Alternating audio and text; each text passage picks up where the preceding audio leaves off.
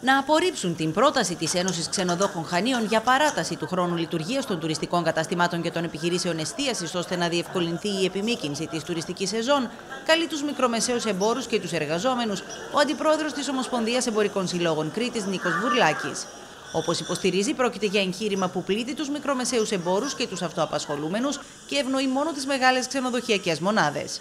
Εμείς ε, δεν αντιδρούμε στην επιμήκυση της ε, τουριστικής περίοδου. Εμείς αντιδρούμε σε αυτό που λέει ότι πρέπει να είναι όλα τα μαγαζιά ανοιχτά σε όλο τον νομό Χανίων όλες τις μέρες και ώρες της εβδομάδος ή της ημέρας, πράγμα το οποίο είναι τελείως εξοδοτικό για τους μικρούς εμπόρους και αυτοαπασχολούμενους στον χώρο του εμπορίου. Η Ένωση Ξενοδόχων Χανίων, σε μια προσπάθεια παράτασης της τουριστικής σεζόν, συμφώνησε πρόσφατα με εκπροσώπους αεροπορικών εταιριών τη συνέχιση της τουριστικής περίοδου, θέτοντας ως βασική προπόθεση τη διεύρυνση του ωραρίου των καταστημάτων, καθώς και την παράταση της λειτουργίας τους.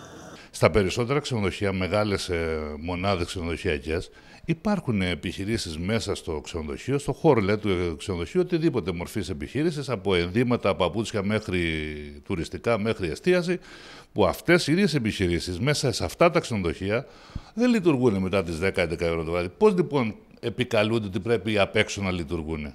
Ο αντιπρόεδρος της Ομοσπονδίας Εμπορικών Συλλόγων Κρήτης Νίκος Βουρλάκης κάνει λόγο για μια προσπάθεια που απαιτεί πρωτίστως ευνοϊκότερες συνθήκες για τους ίδιους τους εργαζόμενους και τους μικρούς και μεσαίους επαγγελματίες του τουρισμού. Κοιτάξτε, δεν μπορεί να γίνει γιατί πρέπει να υπάρχει και προσωπική ζωή των ανθρώπων που δουλεύουν. Ένας άνθρωπος ο οποίος δουλεύει σε μια μικρή επιχείρηση μόνος του δεν μπορεί βιολογικά να αντέξει 15 και 20 ώρες στο μαγαζί του μέσα να επιχειρήσει να κάνει τι.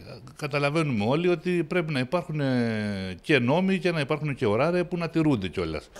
Μέχρι σήμερα πάντως στα Χανιά η περίφημη επιμήκυνση της τουριστικής σεζόν παραμένει στο στάδιο των συζητήσεων με μεμονωμένες προσπάθειες τουριστικών επιχειρηματιών να παρατείνουν τη λειτουργία των ξενοδοχειακών τους μονάδων.